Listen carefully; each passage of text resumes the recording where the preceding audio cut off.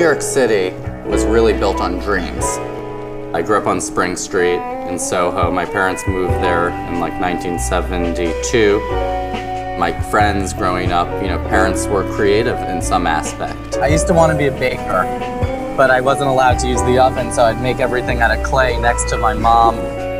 My first love of fashion came from film and from theater. My dad recorded everything on VHS. And that's Alberta.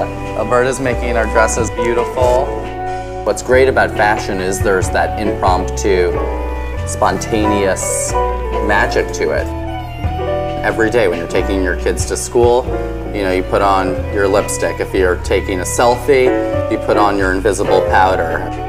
It's like imagination science. Could say like Zac X Mac.